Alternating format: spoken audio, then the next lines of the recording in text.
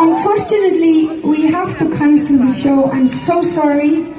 It's not because of the rain, it's because of the lightning. It's very, very dangerous. So I'm very sorry. We are thinking we're gonna try to reschedule the show. So it's gonna be later. Thank you so much for coming, and I'm so sorry about this. Uh, we were really, really excited about uh, doing the show for you, but I think uh, nature and destiny came in, and I think it's all for a reason somehow. So please have a wonderful evening,